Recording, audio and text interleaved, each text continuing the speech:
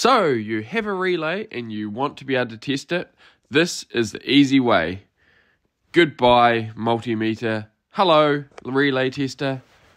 I recently had a relay in my vehicle that wasn't working, but I had no way of easily testing it. Relays are crucial for the operation of your electrical system in your vehicles, and there are a few different types, but you need to be able to test them when things go bad. You have fuses that you can check that are continuous and not broken, they're easy, and you should start by checking these first. You can tell when a fuse is broken, but it's not so easy to tell when a relay is broken. I searched and found this awesome little device from AliExpress. It's cheaper than the price of a new relay and well worth the money. This device allows you to test the function of relays, letting you know if they're faulty or not. Now, relays generally work like this you have a low control circuit over pin 85 and 86 commonly. This charges up a coil. When the coil charges up, it pulls down like an electromagnet, closing a switch. Like the one here going from pin 30 to 87.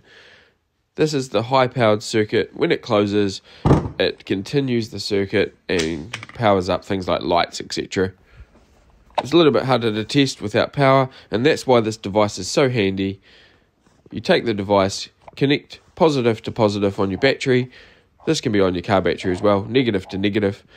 It shows the voltage of the battery, so real life scenario, you grab your relay, chuck it in the hole that matches the relay you have, check whether it's 4 pin or 5 pin, press the test button, and if it's green and clicking, then you know that it's functioning correctly and you can move on, test the next one. How good!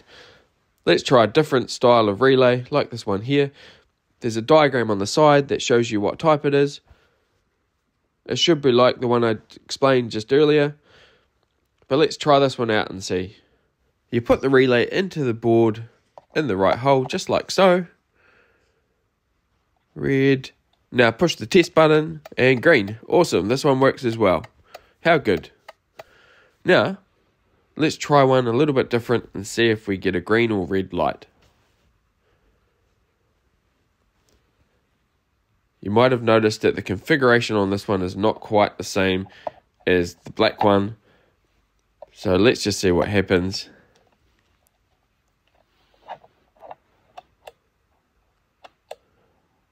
Red. Now this is a non-standard relay. It's configured a little bit different.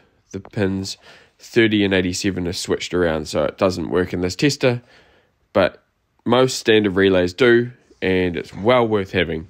So, next time you need to check your relay, get one of these and use my link in the description. Use my discount codes and load up your whole cart with awesome tools like this and get a discount. Thanks for watching. See you next time.